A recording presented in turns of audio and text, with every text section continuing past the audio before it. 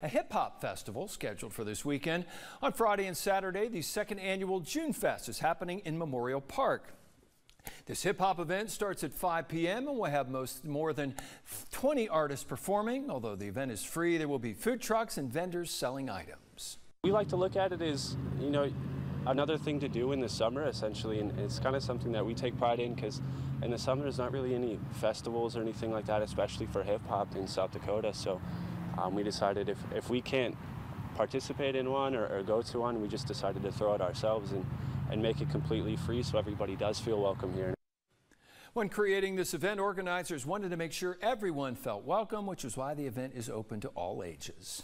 You know, the purpose of this festival is to give people something to do that they can relate with. We have a lot of, I mean, summer activities here in Rapid City, but they have to do with hiking, country music. You know, if you think of the stuff like Summer Nights downtown, it's a lot more of that country type music, rock and roll type music.